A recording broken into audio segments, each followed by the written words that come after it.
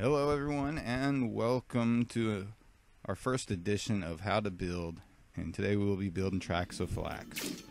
This is Ataribot, and we will be uh, to using two Aeroflak guns. And first thing we're gonna do is we're gonna get a ton of these white squares. It don't matter what color you use. I just use white because. Anyway, and we're gonna put the two guns as close as we can together on the top of this. Um, these use up a ton of CPU, so we're gonna get these out of the way. Um, we're gonna put these as close as we can because they use a ton of CPU, so we can uh, focus on a small body as much as we can here. Um, we're going to be going with the, the mammoth tracks, which are really huge, but they have um, a lot of. Uh, they can take a lot of hits, you know. So it the CPU cost for those um, isn't much greater than the lower level ones. Um, it's just a matter of getting four of them that large onto the robot. And that's what we're going to be using is four of the mammoth tracks. Um, you're going to want to split your screen, of course. Um, do that by pressing M if you haven't figured that out yet. And let's see here. We want to kind of beef up this core as much as we can. Uh, I don't know. To me, it's like if I have anything left in my robot, I kind of want it to be a gun. Maybe a gun and a track. You know?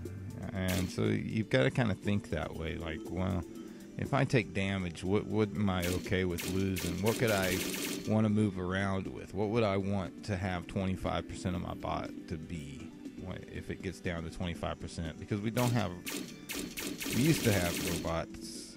Um, pilots that have to go in here, and you had to figure out how to triangulate your blocks to where the last thing that would be destroyed would be your pilot and something he was connected to. And a lot of people made injector seats and all that good stuff. But anyway, we're to put these big tracks on, and what we're to do here is we're to try to get them as close as we can together. Because again, we're trying to keep the profile of this thing. It's to be huge. There's nothing really do about that at this point because of just the guns we're using. But still, we want to try to keep this as small as we can. Um, yeah, I think, yeah, that's going to do it. So what we're going to do is work on how where else we're going to put blocks around these tracks so that you know part of our tracks are also our armor. Because, like I say, they can take a lot of damage. It's okay. You don't have to cover them up with shields. You don't have to, you know, um, armor them in blocks everywhere. You know, like I say, the tracks themselves can take some damage, and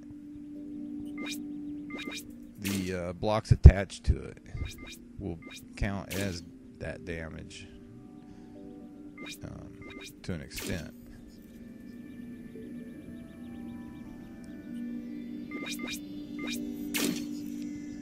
But we want to uh, put blocks where it, the focus is on protecting the frame. You know, so the blocks that are going to connect to our tracks aren't going to connect to the frame so much, to the middle part. Because if something gets blown off of this, then so what?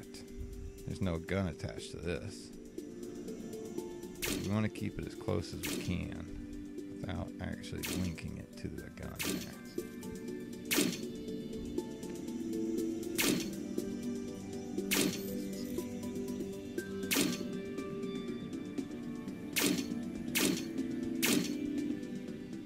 I've uh, tried this out, and I'm not sure if the fire rate's faster or not. It seems like it's a little faster, but this is more of a redundancy thing.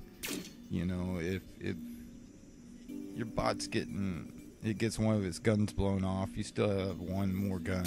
You know, you know. It, like I say, it's not about um, fire rate so much as it is about redundancy. You know, how much damage can we take and still be viable? It tracks. Flax have it really hard.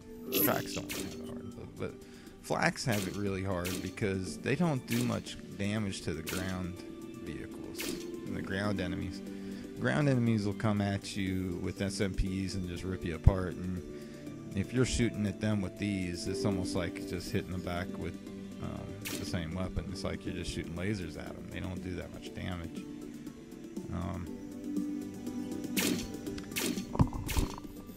we're gonna beef up this middle part a little bit here. Because the last thing we want is we don't want this to get chopped in half. We want redundant connection points so that, hey, the blocks on this side get blown apart and all the blocks in the middle get blown apart, then at least maybe the other side's holding it together. You know, uh, we, we want to make it difficult for them to chop this thing in half, which is probably what they're going to be tempted to do. And uh, whenever you have a chance, go with arrow rods because where it makes sense. Because arrow rods, um, they have much higher health. So why wouldn't you want to be able to handle more damage if, if you needed to?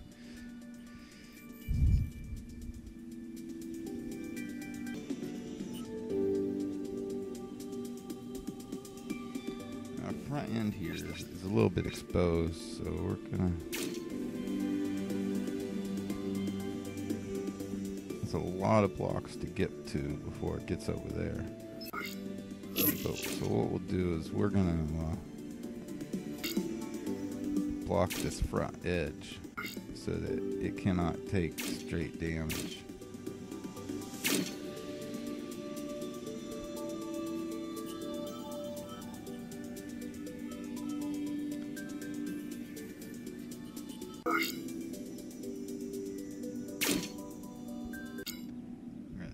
Do something similar here for the rear end.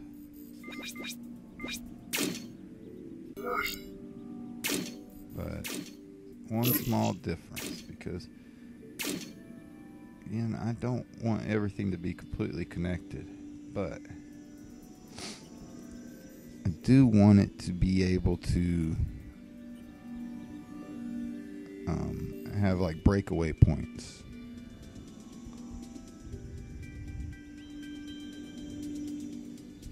So like I say, if they block, if they knock out all these blocks here, it will not matter. Nevertheless, I'm gonna put some some rods here, and what that'll do is give us a little more strength as far as those go. Uh, this front end still a bit too weak for me. You know, and, and I still I defined a front and a rear to the vehicle. You know, I could make this where it, you know the front and the rear looked identical, but ideally, I think you want more protection in the uh, direction of travel, and the reason being is simply because if you take fire, you want to be able to uh,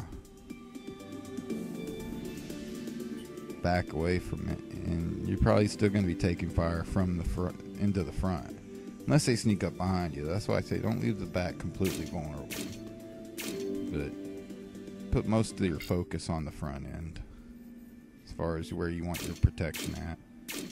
You know, it, you don't want to build so that uh, these are kind of weak shields. We'll probably we'll come back to that. Don't count on these staying here like this. I'm just doing some thinking as I go here. But yeah, this is where the SMG protection comes in because we're gonna want to uh, not take too many shots here to the middle. I'm telling you, this is what they're gonna aim for. They're gonna aim for that middle. they're gonna be, look, I could chop it in half. What they don't realize is that half of this robot is just as effective.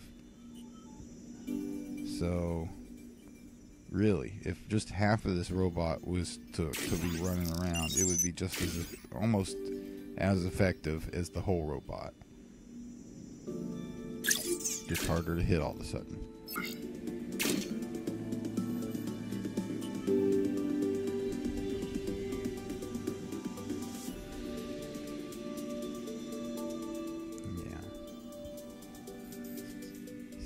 These? Okay.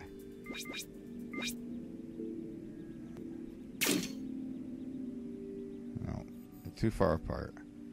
So what we're gonna do is we're gonna get rid of those and the ones on the back side.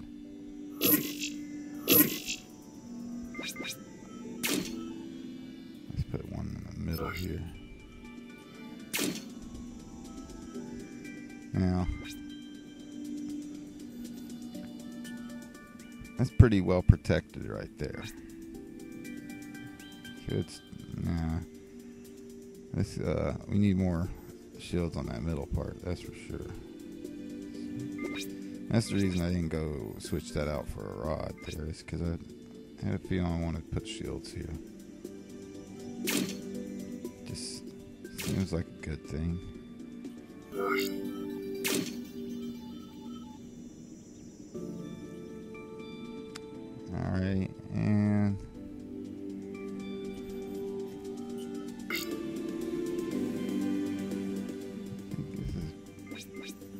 Just a little extra back here.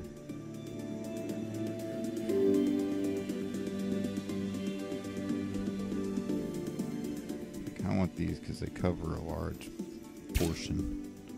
They look good on the sides too.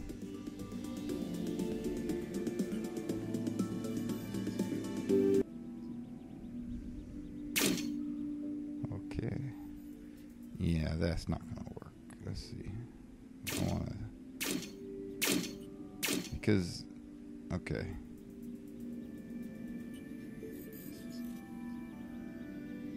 It just needs to be something else to be destroyed back here. You know, we're not just in case somebody sneaks up and they try to the shot and they, they blow something up or whatever. If it hits, it won't matter so much because we'll still have. Oh, let's put some box here, and then we're still gonna have a robot. They won't. Yeah, let's do that. Oh yeah.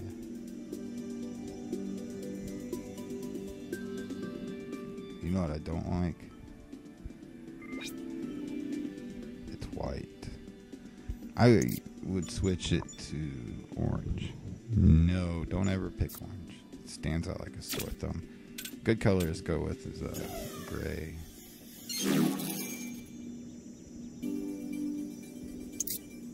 And as far as free colors.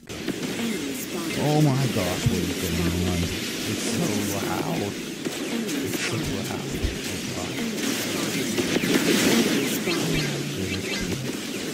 Oh fire.